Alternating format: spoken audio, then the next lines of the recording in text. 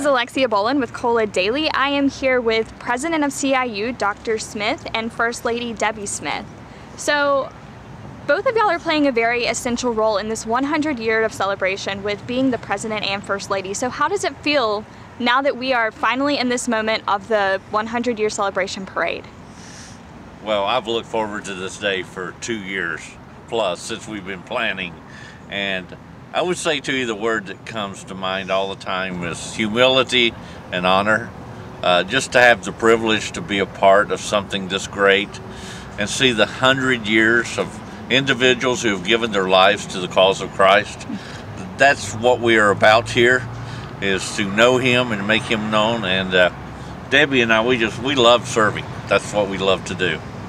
And I was thinking this morning how great it is that um, those that have gone before us have paved the way, and um, we get to and just enjoy that. And um, I just think that's such a great privilege for us. I am here with Alex Bricky. He is the CIU Student Body President. So, how do you feel about being part of this historic 100 year parade today? Honestly, it's pretty awesome. Um, it's really unique to have this opportunity to celebrate 100 years at CIU, and it's uh, really such a privilege to be the student body president at the centennial year, and it's been pretty fantastic so far. And tell me a little bit about what we can expect to see today at the parade. Today, we can expect to see, I think, over 160 countries represented across the boulevard, from missionaries to actual um, international students here at CIU who are from those countries.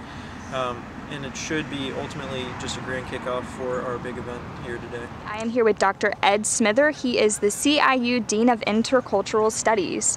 So, you have played an essential role in the planning of this 100 year celebration. So, why is this celebration so important to you?